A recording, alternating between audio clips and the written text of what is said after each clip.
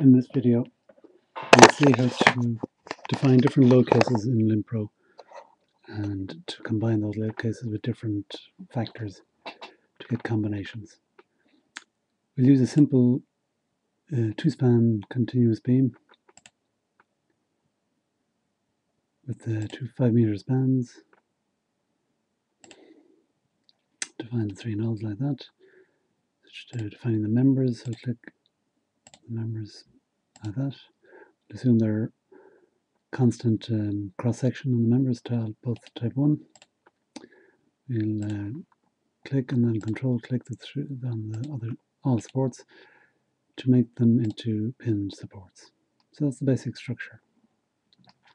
Now I want to define two types of loads, which um, the self-weight of the structure, which in the Eurocode is called the permanent action, and also then uh, what um, is called a variable action, so the imposed loading from the use. So this this this, this might be a beam supporting a floor in a building. So to do that, we need to go to load mass and go to load case. And case one is the default load case that's in there. So we'll change the name of that to permanent. And we'll add a new one called variable.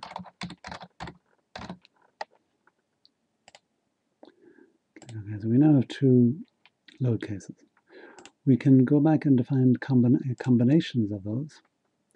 I'm going to add in a combination. We'll call it combination 1, the default name.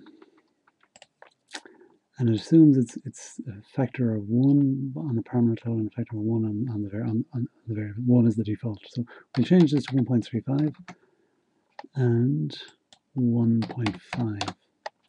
Click OK on that. Just check that again. And there we go, that's fine. Okay, so we now have two basic load cases set up, and we can apply loads to the members. So I'm going to apply the same loads to both members. Click, control and click, and then right click and add load to the members. Now we see we have a choice here, permanent or variable. So I'm working first to find first the permanent load as a add a distributed load into that load case. So I'm going to say that's 10 kilonewtons per meter downwards, a vertical load of 10 kilonewtons per meter, which runs the full length of the beam. Remember to look at the hint to if you have any doubt about what AB and P1 and P2 mean. So we'll apply that load. Now we can also apply a point load as part of that we're still working on the on the permanent load case and a let's apply a point load of 15 at uh, point, 0.5 halfway along each beam. Both beams are still selected so it'll apply to both of them and there we have the permanent load. If we switch here to see the variable load case there are no loads defined. Okay so if you now right click on them add load.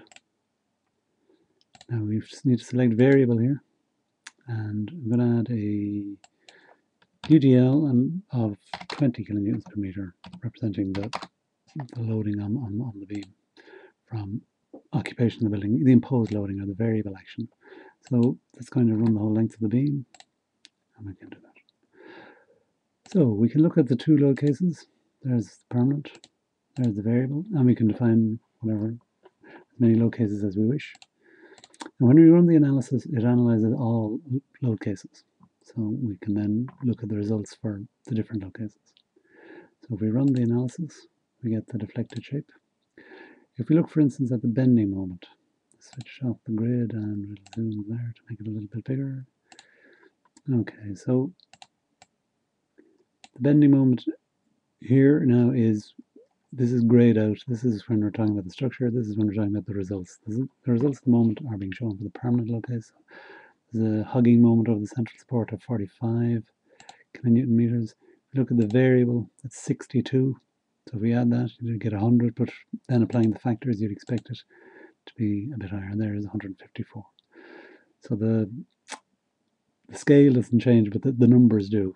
Okay, so similarly for shear, we can look at the results for And that, see the point load coming in there, the variables, there's no point load as I've defined it here. So you can look at the deflection under each of them as well, if you wish. And the combina combination. Again, it's the numbers that change. The deflected shape doesn't change very much, even though there is a point load in, in one of them. Look at the tabulated results. You can, again, select which load case you want to see.